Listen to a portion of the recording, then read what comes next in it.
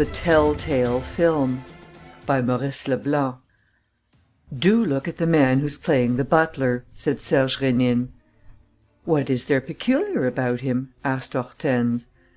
They were sitting in the balcony at a picture palace, to which Hortense had asked to be taken so that she might see on the screen the daughter of a lady, now dead, who used to give her piano lessons. Rose Andrée, a lovely girl with lissome movements and a smiling face, was that evening figuring in a new film, The Happy Princess, which she lit up with her high spirits and her warm, glowing beauty. Rénine made no direct reply, but during a pause in the performance continued: "I sometimes console myself for an indifferent film by watching the subordinate characters. It seems to me that those poor devils, who are made to rehearse certain scenes ten or twenty times over, must often be thinking of other things than their parts at the time of the final exposure; and it's great fun noting those little moments of distraction which reveal something of their temperament, of their instinct self, as, for instance, in the case of that butler. Look!" The screen now showed a luxuriously served table. The Happy Princess sat at the head, surrounded by all her suitors. Half a dozen footmen moved about the room, under the orders of the butler, a big fellow with a dull, coarse face, a common appearance and a pair of enormous eyebrows which met across his forehead in a single line. "He looks a brute," said Hortense. "But what do you see in him that's peculiar?" "Just note how he gazes at the princess and tell me if he doesn't stare at her oftener than he ought to." "I really haven't noticed anything so far," said Hortense. "Why, of course he does!" Serge Rénine declared. "It is quite obvious that in actual life he entertains for Rose Andrée personal feelings which are quite out of place in a nameless servant. It is possible that in real life no one has any idea of such a thing. But on the screen, when he is not watching himself or when he thinks that the actors at rehearsal cannot see him, his secret escapes him. Look." The man was standing still. It was the end of dinner. The princess was drinking a glass of champagne and he was gloating over her, with his glittering eyes half hidden behind their heavy lids. Twice again they surprised in his face those strange expressions to which Rénine ascribed an emotional meaning which Hortense refused to see. "It's just his way of looking at people," she said. The first part of the film ended. There were two parts, divided by an entr'acte. The notice on the programme stated that a year had elapsed and that the Happy Princess was living in a pretty Norman cottage, all hung with creepers, together with her husband, a poor musician. The princess was still happy, as was evident on the screen, still as attractive as ever and still besieged by the greatest variety of suitors. Nobles and commoners, peasants and financiers, men of all kinds, fell swooning at her feet; and prominent among them was a sort of boorish solitary, a shaggy, half wild woodcutter, whom she met whenever she went out for a walk. Armed with his axe, a formidable crafty being, he prowled around the cottage; and the spectators felt with a sense of dismay that a peril was hanging over the Happy Princess's head. "Look at that!" whispered Rénine. "Do you realize who the man of the woods is?" "No." "Simply the butler. The same actor is doubling the two parts."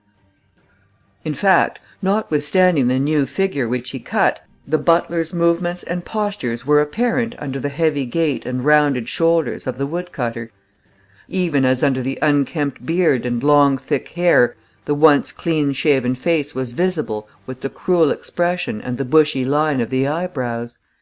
The princess, in the background, was seen to emerge from the thatched cottage. The man hid himself behind a clump of trees. From time to time, the screen displayed, on an enormously enlarged scale, his fiercely rolling eyes or his murderous hands with their huge thumbs. "The man frightens me," said Hortense. "He is really terrifying." "Because he's acting on his own account," said Rénine.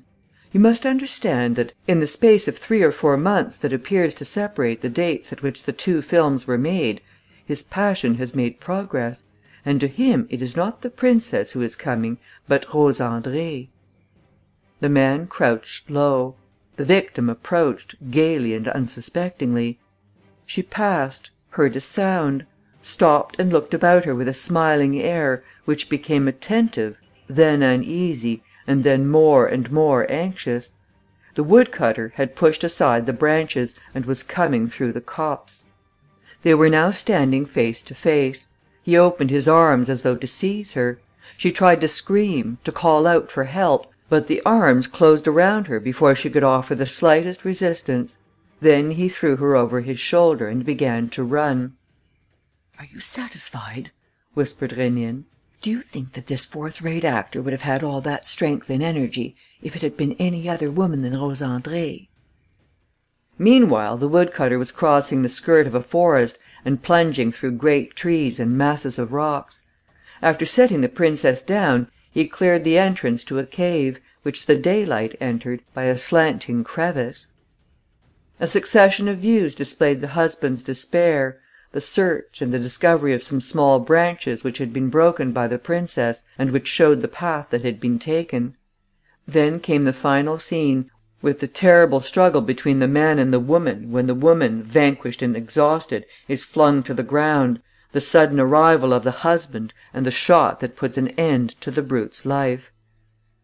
"Well," said Rénine, when they had left the picture palace, and he spoke with a certain gravity, "I maintain that the daughter of your old piano teacher has been in danger ever since the day when that last scene was filmed. I maintain that this scene represents not so much an assault by the man of the woods on the Happy Princess as a violent and frantic attack by an actor on the woman he desires. Certainly it all happened within the bounds prescribed by the part and nobody saw anything in it, nobody except perhaps Rose Andrée herself. But I, for my part, have detected flashes of passion which leave not a doubt in my mind. I have seen glances that betrayed the wish and even the intention to commit murder. I have seen clenched hands, ready to strangle; in short, a score of details which prove to me that at that time, the man's instinct was urging him to kill the woman who could never be his." "And it all amounts to what?" "We must protect Rose Andrée if she is still in danger and if it is not too late." "And to do this?" "We must get hold of further information." "From whom?" "From the World's Cinema Company, which made the film. I will go to them to morrow morning. Will you wait for me in your flat about lunch time?" At heart Hortense was still sceptical. All these manifestations of passion, of which she denied neither the ardour nor the ferocity, seemed to her to be the rational behaviour of a good actor. She had seen nothing of the terrible tragedy which Rénine contended that he had divined; and she wondered whether he was not erring through an excess of imagination. "Well," she asked next day, not without a touch of irony, "how far have you got? Have you made a good bag? Anything mysterious? Anything thrilling?" "Pretty good." "Oh, really? And your so called lover?" "Is one Dalbrèque, originally a scene painter, who played the butler in the first part of the film and the man of the woods in the second, and was so much appreciated that they engaged him for a new film. Consequently he has been acting lately. He was acting near Paris. But on the morning of Friday the 18th of September he broke into the garage of the World's Cinema Company and made off with a magnificent car and forty thousand francs in money. Information was lodged with the police; and on the Sunday the car was found a little way outside Dreux. And up to now the inquiry has revealed two things, which will appear in the papers to morrow. First, Dalbrèque is alleged to have committed a murder which created a great stir last year, the murder of Bourguet, the jeweller. Secondly, on the day after his two robberies, Dalbrèque was driving through Le Havre in a motor car with two men who helped him to carry off, in broad daylight and in a crowded street, a lady whose identity has not yet been discovered." "Rose Andrée?" asked Hortense, uneasily. "I have just been to Rose Andrée's. The World's Cinema Company gave me her address. Rose Andrée spent this summer travelling and then stayed for a fortnight in the Seine Inférieure, where she has a small place of her own, the actual cottage in The Happy Princess. On receiving an invitation from America to do a film there, she came back to Paris, registered her luggage at the Gare Saint Lazare and left on Friday, the 18th of September, intending to sleep at Le Havre and take Saturday's boat." "Friday the 18th," muttered Hortense. "The same day on which that man...." "And it was on the Saturday that a woman was carried off by him at Le Havre.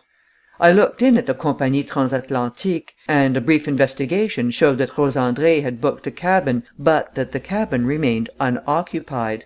The passenger did not turn up." "This is frightful! She has been carried off! You were right!" "I fear so." "What have you decided to do?" "Adolphe, my chauffeur, is outside with the car. Let us go to Le Havre. Up to the present, Rose Andrée's disappearance does not seem to have become known. Before it does and before the police identify the woman carried off by Dalbrèque with the woman who did not turn up to claim her cabin, we will get on Rose Andrée's track." There was not much said on the journey. At four o'clock, Hortense and Rénine reached Rouen. But here Rénine changed his road: "Adolphe, take the left bank of the Seine." He unfolded a motoring map on his knees and, tracing the route with his finger, showed Hortense that, if you draw a line from La Havre, or rather from Quillebeuf, where the road crosses the Seine, to Dreux, where the stolen car was found, this line passes through Routot, a market town lying west of the forest of Brotonne. "Now it was in the forest of Brotonne," he continued, "according to what I heard, that the second part of The Happy Princess was filmed; and the question that arises is this: Having got hold of Rose Andrée, would it not occur to Dalbrèque, when passing near the forest on the Saturday night, to hide his prey there, while his two accomplices went on to Dreux and from there returned to Paris? The cave was quite near. Was he not bound to go to it? How should he do otherwise? Wasn't it while running to this cave, a few months ago, that he held in his arms, against his breast, within the reach of his lips, the woman whom he loved and whom he has now conquered? By every rule of fate and logic, the adventure is being repeated all over again.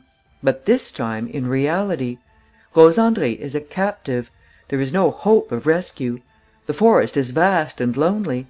That night, or on one of the following nights, Rose Andrée must surrender or die." Hortense gave a shudder: "We shall be too late.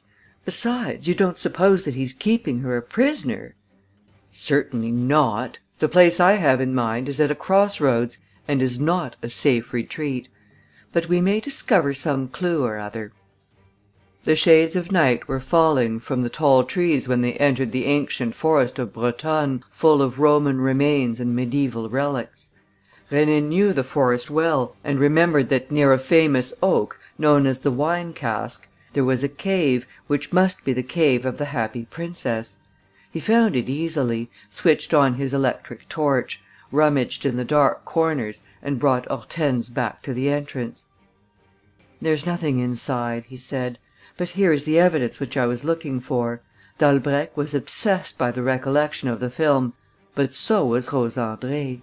The Happy Princess had broken off the tips of the branches on the way through the forest. Rose Andrée has managed to break off some to the right of this opening, in the hope that she would be discovered as on the first occasion." "Yes," said Hortense, "it's a proof that she has been here. But the proof is three weeks old. Since that time...." "Since that time she is either dead and buried under a heap of leaves or else alive in some hole even lonelier than this." "If so, where is he?" Rénine pricked up his ears. Repeated blows of the axe were sounding from some distance, no doubt coming from a part of the forest that was being cleared. "He?" said Rénine. "I wonder whether he may not have continued to behave under the influence of the film and whether the man of the woods in The Happy Princess has not quite naturally resumed his calling. For how is the man to live, to obtain his food, without attracting attention? He will have found a job." "We can't make sure of that." "We might, by questioning the woodcutters whom we can hear." The car took them by a forest road to another cross roads, where they entered on foot a track which was deeply rutted by wagon wheels. The sound of axes ceased. After walking for a quarter of an hour, they met a dozen men who, having finished work for the day, were returning to the villages near by. "Will this path take us to Routot?" Asked Rénine, in order to open a conversation with them. "No, you're turning your backs on it," said one of the men, gruffly. And he went on, accompanied by his mates. Hortense and Rénine stood rooted to the spot. They had recognized the butler. His cheeks and chin were shaved, but his upper lip was covered by a black moustache, evidently dyed. The eyebrows no longer met and were reduced to normal dimensions. Thus, in less than twenty hours, acting on the vague hints supplied by the bearing of a film actor, Serge Rénine had touched the very heart of the tragedy by means of purely psychological arguments. "Rose Andrée is alive," he said. "Otherwise Dalbrèque would have left the country. The poor thing must be imprisoned and bound up; and he takes her some food at night." "We will save her, won't we?" "Certainly, by keeping a watch on him and, if necessary, but in the last resort, compelling him by force to give up his secret." They followed the woodcutter at a distance and, on the pretext that the car needed overhauling, engaged rooms in the principal inn at Routot. Attached to the inn was a small café from which they were separated by the entrance to the yard and above which were two rooms, reached by a wooden outer staircase, at one side. Dalbrèque occupied one of these rooms and Rénine took the other for his chauffeur. Next morning he learnt from Adolphe that Dalbrèque, on the previous evening, after all the lights were out, had carried down a bicycle from his room and mounted it and had not returned until shortly before sunrise. The bicycle tracks led Rénine to the uninhabited Château des Landes, five miles from the village. They disappeared in a rocky path which ran beside the park down to the Seine opposite the Jumièges peninsula. Next night, he took up his position there. At eleven o'clock, Dalbrèque climbed a bank, scrambled over a wire fence, hid his bicycle under the branches and moved away. It seemed impossible to follow him in the pitchy darkness, on a mossy soil that muffled the sound of footsteps. Rénine did not make the attempt; but, at daybreak, he came with his chauffeur and hunted through the park all the morning. Though the park, which covered the side of a hill and was bounded below by the river, was not very large, he found no clue which gave him any reason to suppose that Rose Andrée was imprisoned there. He therefore went back to the village, with the firm intention of taking action that evening and employing force. "This state of things cannot go on," he said to Hortense. "I must rescue Rose Andrée at all costs and save her from that ruffian's clutches. He must be made to speak. He must. Otherwise there's a danger that we may be too late." That day was Sunday and Dalbrèque did not go to work. He did not leave his room except for lunch and went upstairs again immediately afterwards. But at three o'clock Rénine and Hortense, who were keeping a watch on him from the inn, saw him come down the wooden staircase, with his bicycle on his shoulder. Leaning it against the bottom step, he inflated the tires and fastened to the handle bar a rather bulky object wrapped in a newspaper. "By Jove!" muttered Rénine. "What's the matter?" In front of the café was a small terrace bordered on the right and left by spindle trees planted in boxes, which were connected by a paling. Behind the shrubs, sitting on a bank but stooping forward so that they could see Dalbrèque through the branches, were four men. "Police!" Said Rénine. Oh, "What bad luck! If those fellows take a hand, they will spoil everything." "Why? On the contrary, I should have thought...." "Yes, they will. They will put Dalbrèque out of the way. And then...." "And then? Will that give us Rose Andrée?" Dalbrèque had finished his preparations. Just as he was mounting his bicycle, the detectives rose in a body ready to make a dash for him. But Dalbrèque, though quite unconscious of their presence, changed his mind and went back to his room as though he had forgotten something. "Now's the time," said Rénine. "I'm going to risk it. But it's a difficult situation and I've no great hopes." He went out into the yard and, at a moment when the detectives were not looking, ran up the staircase, as was only natural if he wished to give an order to his chauffeur. But he had no sooner reached the rustic balcony at the back of the house, which gave admission to the two bedrooms, than he stopped. Dalbrèque's door was open. Rénine walked in. Dalbrèque stepped back, at once assuming the defensive. "What do you want? Who said you could...." "Silence!"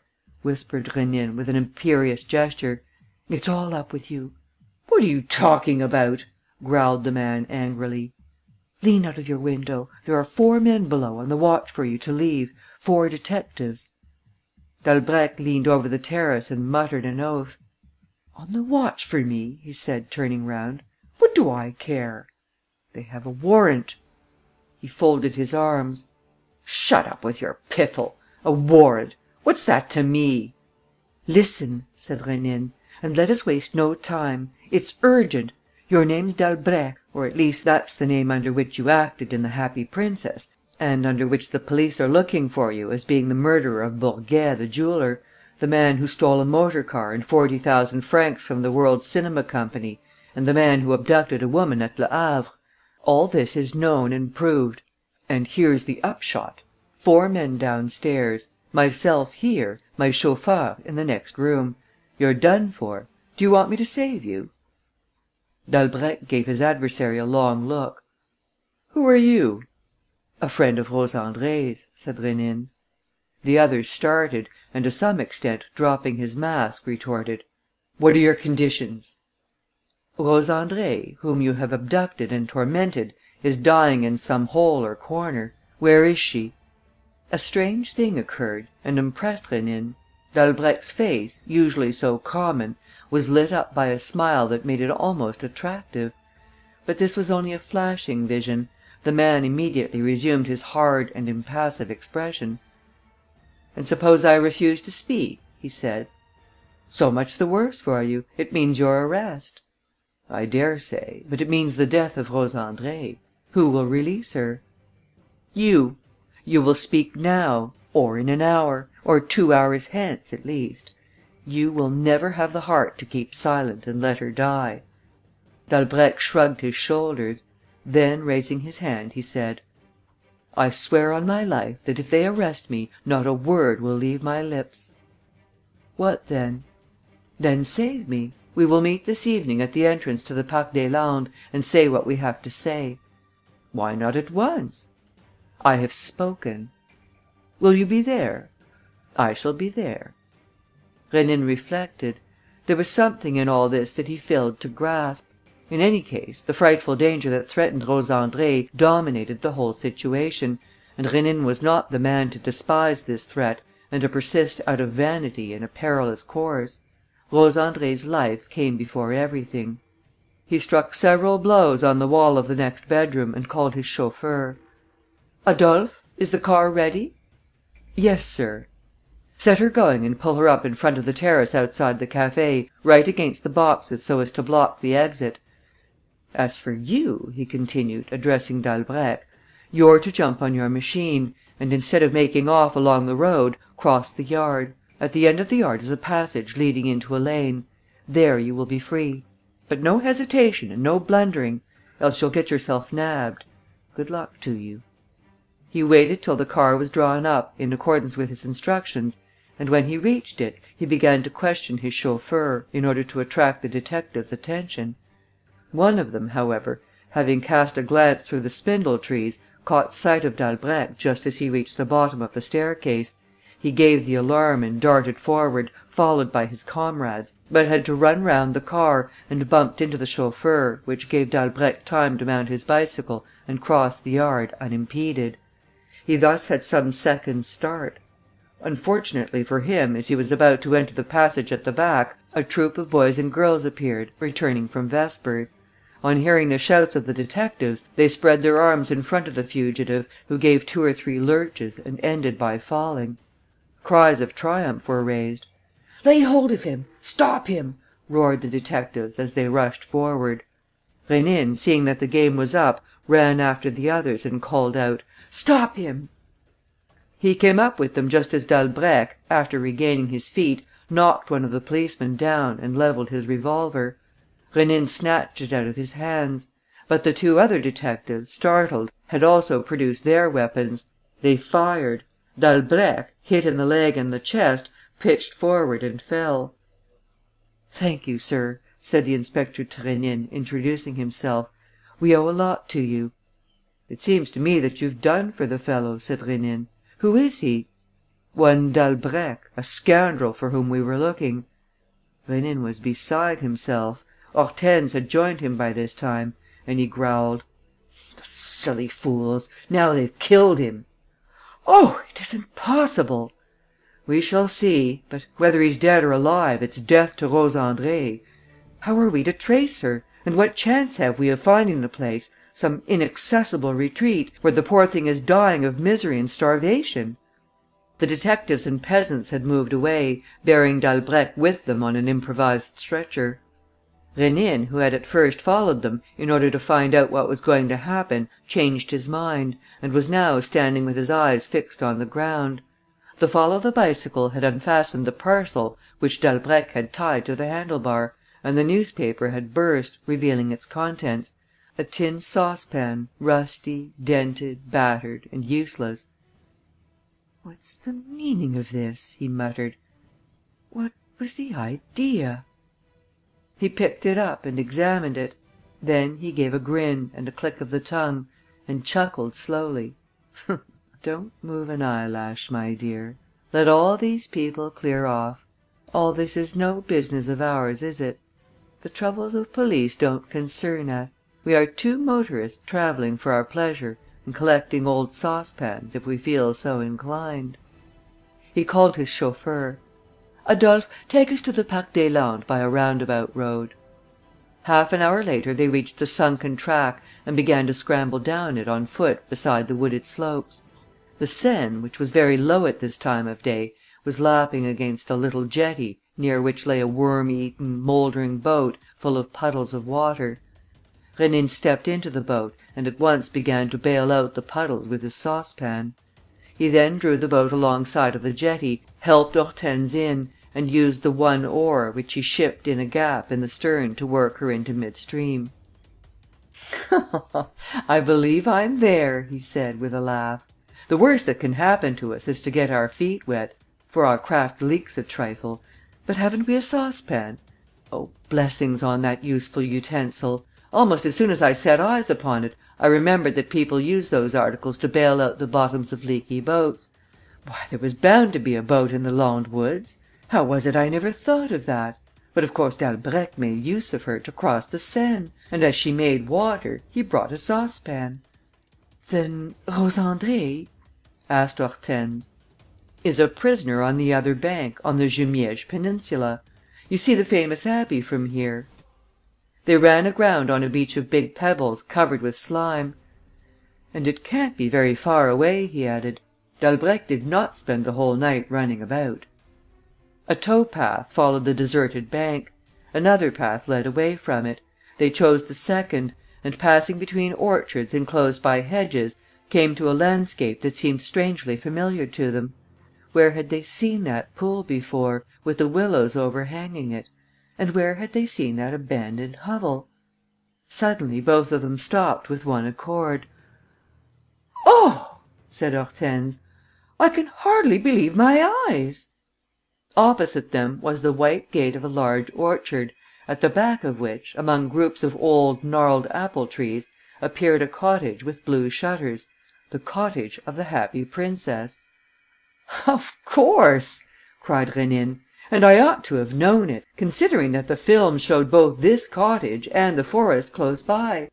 And isn't everything happening exactly as in the Happy Princess? Isn't Dalbrèque dominated by the memory of it? The house, which is certainly the one in which Rose Andrée spent the summer, was empty. He has shut her up there." "But the house, you told me, was in the Seine Inférieure."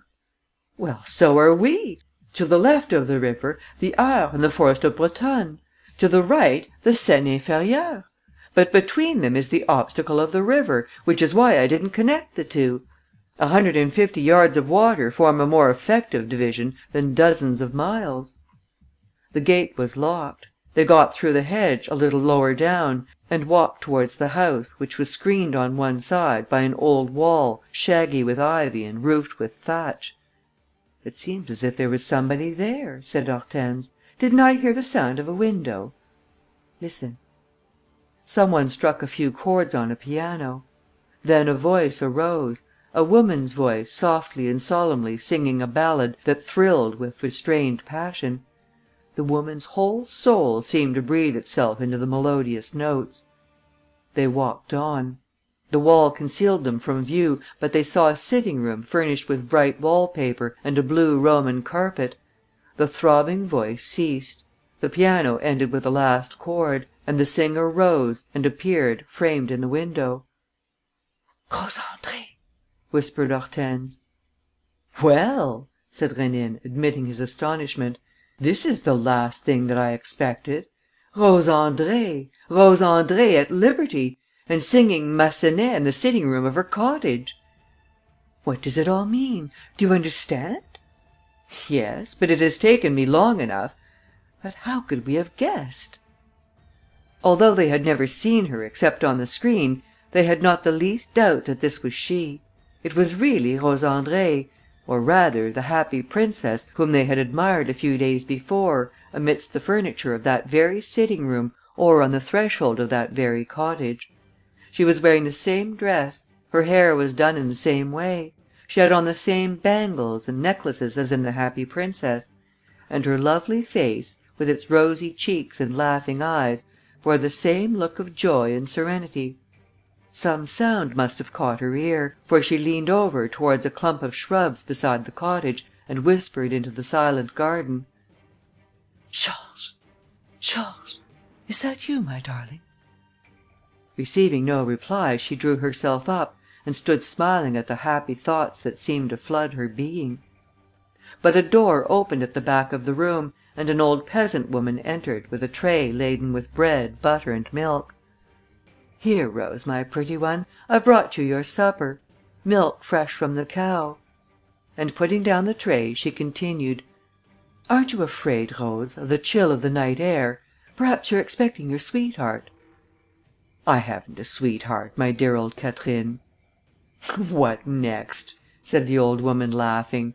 "Only this morning there were footprints under the window that didn't look at all proper." "A burglar's footprints, perhaps, Catherine?" "Well, I don't say they weren't, Rose dear, especially as in your calling you have a lot of people round you whom it's well to be careful of. For instance, your friend Dalbrèque, eh? Nice goings on his are! You saw the paper yesterday. A fellow who has robbed and murdered people and carried off a woman at Le Havre!" Hortense and Rénine would have much liked to know what Rose Andrée thought of the revelations. But she had turned her back to them and was sitting at her supper; and the window was now closed, so that they could neither hear her reply nor see the expression of her features. They waited for a moment. Hortense was listening with an anxious face. But Rénine began to laugh. "Oh, very funny! Really funny! And such an unexpected ending! And we who were hunting for her in some cave or damp cellar! A horrible tomb where the poor thing was dying of hunger! It's a fact she knew the terrors of that first night of captivity; and I maintain that on the first night she was flung, half dead, into the cave. Only there you are! The next morning she was alive. One night was enough to tame the little rogue and to make Dalbrèque as handsome as Prince Charming in her eyes. For see the difference? On the films, or in novels, the happy princesses resist or commit suicide. But in real life oh, woman, woman!" "Yes," said Hortense, "but the man she loves is almost certainly dead." "And a good thing too! It would be the best solution. What would be the outcome of this criminal love for a thief and murderer?" A few minutes passed. Then, amid the peaceful silence of the waning day, mingled with the first shadows of the twilight, they again heard the grating of the window, which was cautiously opened. Rose Andrée leaned over the garden and waited, with her eyes turned to the wall, as though she saw something there. Presently Rénine shook the ivy branches: "Ah!" she said. "This time I know you're there. Yes, the ivy's moving. Georges, Georges darling, why do you keep me waiting? Catherine has gone. I am all alone." She had knelt down and was distractedly stretching out her shapely arms covered with bangles which clashed with a metallic sound. "Georges! Georges!" Her every movement, the thrill of her voice, her whole being expressed desire and love. Hortense, deeply touched, could not help saying: "How the poor thing loves him! If she but knew!" "Ah!" cried the girl. "You've spoken! You're there! And you want me to come to you, don't you? Here I am, Georges!" She climbed over the window ledge and began to run, while Rénine went round the wall and advanced to meet her. She stopped short in front of him and stood choking at the sight of this man and woman whom she did not know and who were stepping out of the very shadow from which her beloved appeared to her each night. Rénine bowed, gave his name and introduced his companion: "Madame Hortense Daniel, a pupil and friend of your mother's." Still motionless with stupefaction, her features drawn, she stammered: "You know who I am? And you were there just now? You heard what I was saying?" Rénine, without hesitating or pausing in his speech, said: "You are Rose Andrée, the Happy Princess. We saw you on the films the other evening; and circumstances led us to set out in search of you. To Le Havre, where you were abducted on the day when you were to have left for America, and to the forest of Brotonne, where you were imprisoned." She protested eagerly, with a forced laugh: "What is all this? I have not been to Le Havre. I came straight here. Abducted? Imprisoned? What nonsense!" "Yes, imprisoned, in the same cave as the Happy Princess; and you broke off some branches to the right of the cave." "But how absurd! Who would have abducted me? I have no enemy." "There is a man in love with you, the one whom you were expecting just now." "Yes, my lover," she said proudly. "Have I not the right to receive whom I like?" "You have the right. You are a free agent. But the man who comes to see you every night is wanted by the police. His name is Georges Dalbrèque. He killed Bourguet the jeweller." The accusation made her start with indignation and she exclaimed: "It's a lie! An infamous fabrication of the newspapers! Georges was in Paris on the night of the murder. He can prove it." "He stole a motor car and forty thousand francs in notes." She retorted vehemently: "The motor car was taken back by his friends and the notes will be restored. He never touched them. My leaving for America had made him lose his head." "Very well. I am quite willing to believe everything that you say. But the police may show less faith in these statements and less indulgence." She became suddenly uneasy and faltered: "The police? There's nothing to fear from them. They won't know." "Where to find him?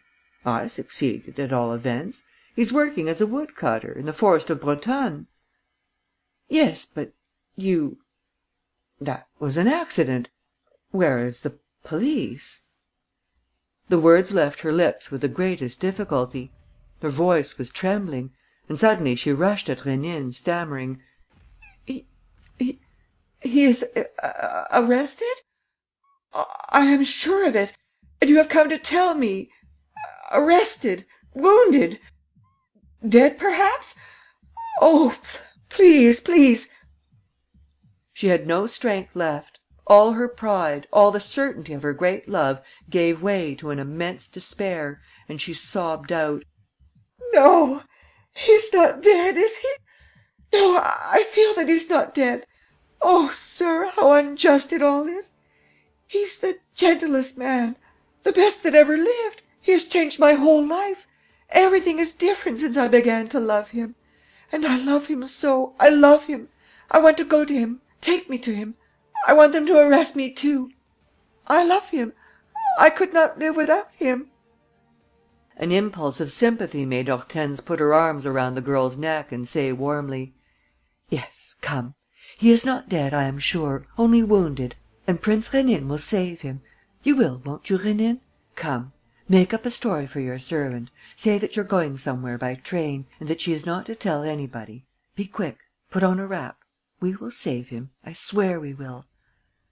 Rose Andrée went indoors and returned almost at once, disguised beyond recognition in a long cloak and a veil that shrouded her face; and they all took the road back to Routot. At the inn, Rose Andrée passed as a friend whom they had been to fetch in the neighbourhood and were taking to Paris with them. Rénine ran out to make enquiries and came back to the two women: "It's all right. Dalbrèque is alive. They have put him to bed in a private room at the mayor's offices. He has a broken leg and a rather high temperature, but all the same, they expect to move him to Rouen to morrow and they have telephoned there for a motor car." "And then?" asked Rose Andrée, anxiously. Rénine smiled: "Why, then we shall leave at daybreak. We shall take up our positions in a sunken road, rifle in hand, attack the motor coach and carry off Georges." "Oh, "Don't laugh," she said, plaintively. "I am so unhappy." But the adventure seemed to amuse Rénine; and, when he was alone with Hortense, he exclaimed: "You see what comes of preferring dishonour to death! But, hang it all, who could have expected this? It isn't a bit the way in which things happen in the pictures. Once the man of the woods had carried off his victim and, considering that for three weeks there was no one to defend her, how could we imagine, we who had been proceeding all along under the influence of the pictures, that, in the space of a few hours, the victim would become a princess in love? Confound that Georges!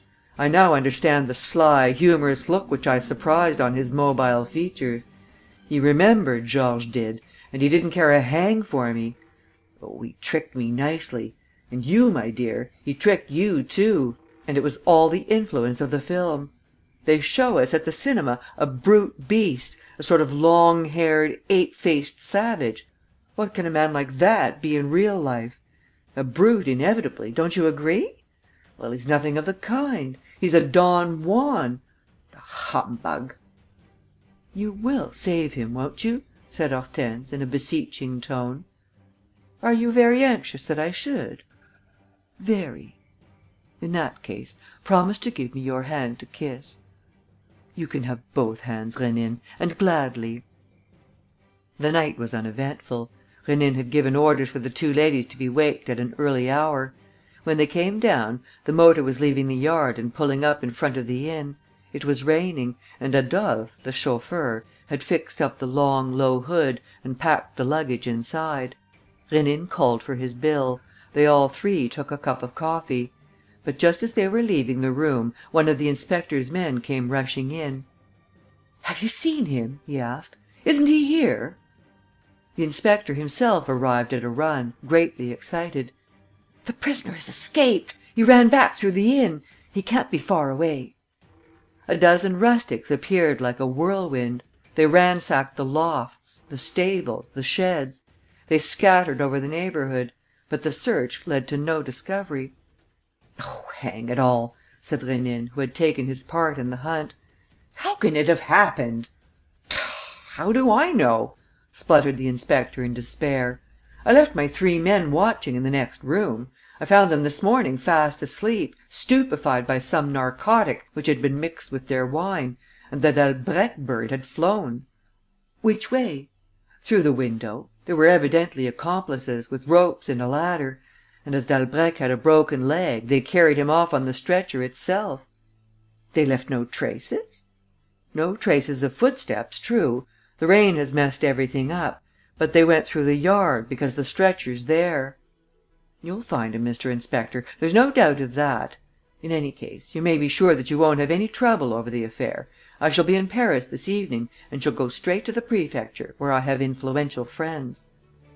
Rénine went back to the two women in the coffee room and Hortense at once said: "It was you who carried him off, wasn't it? Please put Rose Andrée's mind at rest. She is so terrified." He gave Rose Andrée his arm and led her to the car. She was staggering and very pale; and she said, in a faint voice: "Are we going? And he is he safe? Won't they catch him again?" Looking deep into her eyes, he said: "Swear to me, Rose Andrée, that, in two months, when he is well and when I have proved his innocence, swear that you will go away with him to America." "I swear." "And that, once there, you will marry him." "I swear." He spoke a few words in her ear: "Ah!" she said. "May Heaven bless you for it!" Hortense took her seat in front, with Rénine, who sat at the wheel. The inspector, hat in hand, fussed around the car until it moved off. They drove through the forest, crossed the Seine at La Mailleraie and struck into the Havre Rouen road. "Take off your glove and give me your hand to kiss," Rénine ordered. "You promised that you would." "Oh," said Hortense, "but it was to be when Dalbrèque was saved." "He is saved." "Not yet. The police are after him. They may catch him again. He will not be really saved until he is with Rose Andrée." "He is with Rose Andrée," he declared. "What do you mean?" "Turn round." She did so. In the shadow of the hood, right at the back, behind the chauffeur, Rose Andrée was kneeling beside a man lying on the seat. "Oh!" oh stammered Hortense. "It's incredible! Then it was you who hit him last night? And he was there, in front of the inn, when the inspector was seeing us off?" "Lord, yes! He was there, under the cushions and rugs." "It's incredible!" she repeated, utterly bewildered. "It's incredible! How were you able to manage it all?" "I wanted to kiss your hand," he said. She removed her glove, as he bade her, and raised her hand to his lips. The car was speeding between the peaceful Seine and the white cliffs that border it. They sat silent for a long while. Then he said: "I had a talk with Dalbrèque last night. He's a fine fellow and is ready to do anything for Rose Andrée. He's right: a man must do anything for the woman he loves. He must devote himself to her, offer her all that is beautiful in this world, joy and happiness; and if she should be bored, stirring adventures to distract her, to excite her and to make her smile... or even weep." Hortense shivered and her eyes were not quite free from tears. For the first time he was alluding to the sentimental adventure that bound them by a tie which as yet was frail, but which became stronger and more enduring with each of the adventures on which they entered together, pursuing them feverishly and anxiously to their close. Already she felt powerless and uneasy with this extraordinary man, who subjected events to his will and seemed to play with the destinies of those whom he fought or protected. He filled her with dread and at the same time he attracted her. She thought of him sometimes as her master, sometimes as an enemy against whom she must defend herself, but oftenest as a perturbing friend, full of charm and fascination. Tell Tale Film